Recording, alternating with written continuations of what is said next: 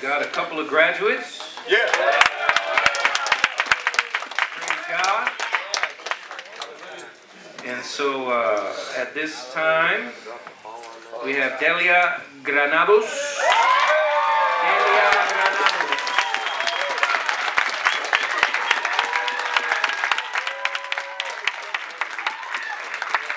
And then we have Kayla Gallup. Gallup. When have I heard that before?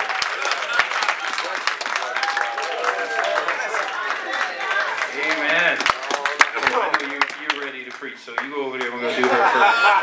We're gonna do her first. It's gonna be a minute. I can, I can sense it in the spirit. I can feel it. So Kayla, how was it? It was good. And uh, how long were you here? Six months. Amen. You didn't go away and come back. You did all six months in one shot. Well, I I kind of I wanted it to just get it over with. Didn't want to anything. And I was kind of like that back when I was in school. So well, it's kind of a hard habit to break. Like not diverging from anything. Okay. And uh, so, what are you gonna do now? I'm going on to phase two.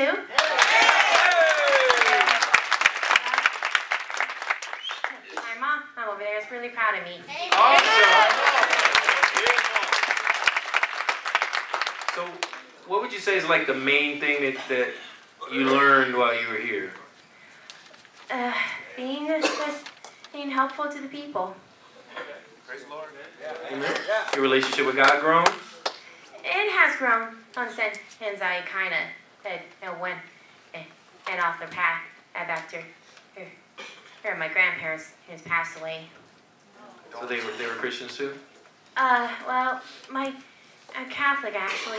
He, he, he, so I was uh, his raised Catholic, but I'm growing into a, a fine Christian. uh, If I Amen. Mom, you want to come over here? Let's give mom a hand. Amen. Proud of your little girl? Oh, yes. Would you give her this? Amen.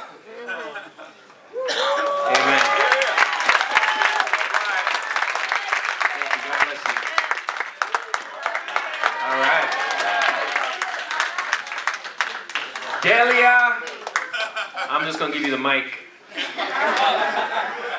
Can you hold it down for like two minutes? I'm a little nervous. So All I'm right. gonna see.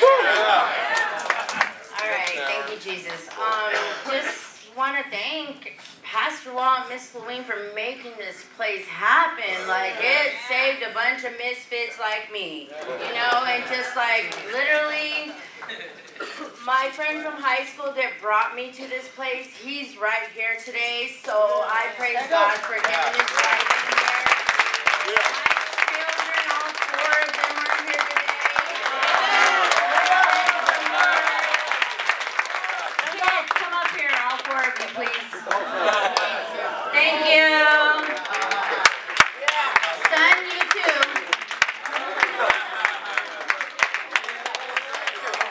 Um, I just, you know, like, I thank my leaders because I this I made it a 13 month program. So, um, you know, like I'm here and I'm better than ever. Coming into, like I said last time, my new director, Miss Terry, I thank you so so much because if we didn't have the discipline and structure you put in place.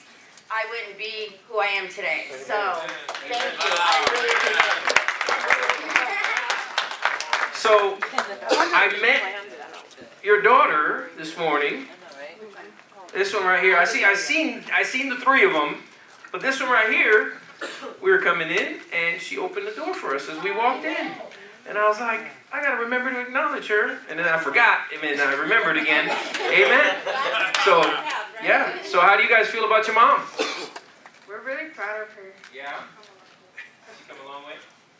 Have you seen some changes in her? What you thinking? Just proud of her.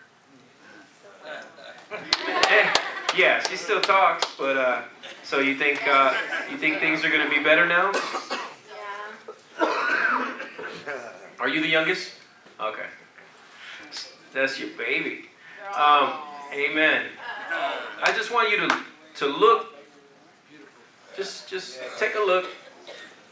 Take a picture in your mind.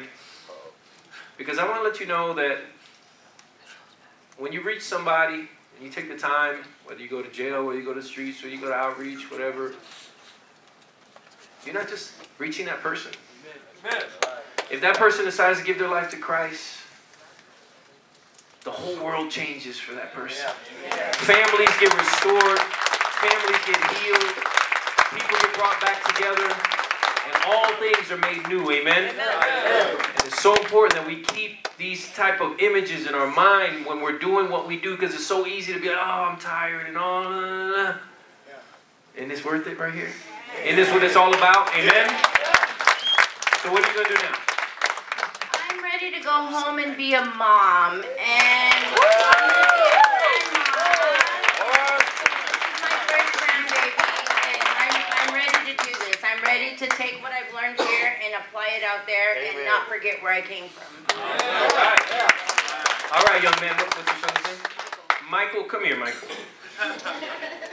So there's a, a little tradition that we have. There's like this seal right here, and that means that they that they graduate with honors. That means that everything that we ask them to do, they have certain assignments and homework and Bible reading and study and memorization.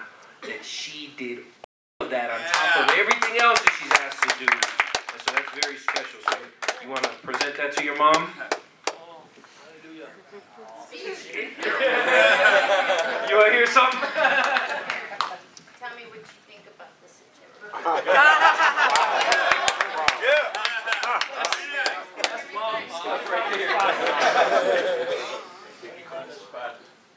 Is for my mom.